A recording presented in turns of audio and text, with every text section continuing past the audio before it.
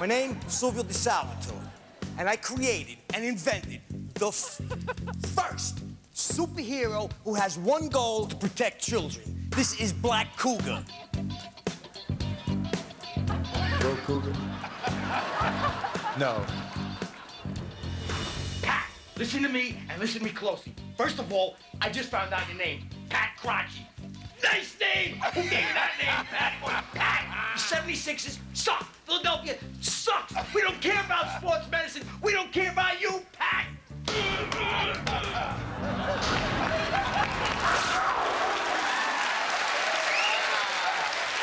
So the Black Cougar was the judge's number one choice, but what they don't know is that he's here tonight. Please welcome Black Cougar and Silvio DiSalvatore.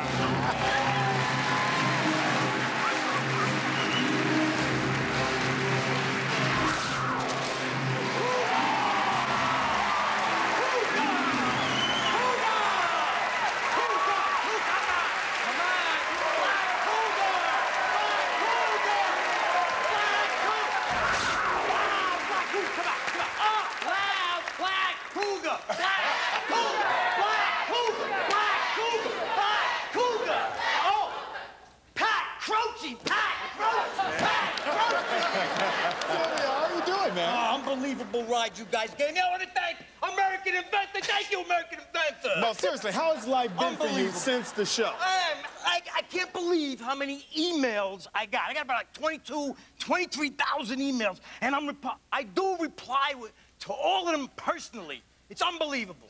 Thank you, American Mentor, and thank you, Ma, for making me. Is there anything you'd like to say to Pat right now since he's sitting there? No.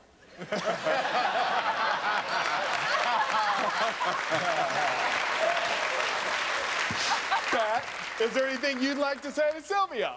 Sylvia, you have five million Philadelphians looking for your address.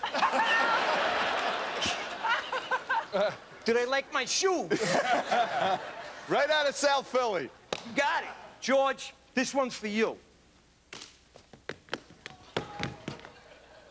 Hey. Well, you got to give something to Sara.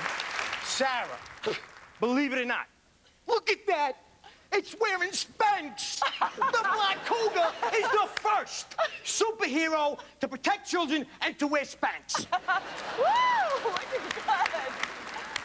England, you have to take the Cougar across the pond.